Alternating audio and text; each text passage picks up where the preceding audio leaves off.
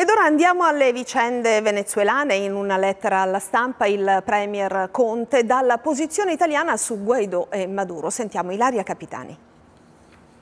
È un dialogo a distanza, quello tra il Premier Conte e il Presidente dell'Assemblea nazionale venezuelana Guaidó, leader dell'opposizione, autoproclamatosi Presidente ad interim. Un dialogo che si consuma sulle pagine del quotidiano La Stampa. Alle richieste di aiuto di Guaidó da parte dell'Italia, Conte risponde «Siamo vicini alle sofferenze del popolo venezuelano. Il mio governo, scrive il Premier, non l'ha riconosciuta Presidente ad interim, non solo per ragioni di ordine giuridico formale, ma anche perché consapevole consapevole del rischio di contribuire alla radicalizzazione delle rispettive posizioni, incrementerebbe la violenza. Riconosciamo legittima l'Assemblea nazionale il suo presidente Guaidò, dice il Premier. Il presidente Maduro invece non ha legittimità democratica, sottolinea, ma l'unica soluzione è politica, mai militare. Ed è a questo che il governo sta lavorando, rivendica, ad una soluzione pacifica che porti a libere elezioni. La posizione dell'Italia dunque non cambia, condanna delle limitazioni Meloni e i deputati venezuelani, in due ricorda Conte hanno trovato rifugio nella nostra ambasciata.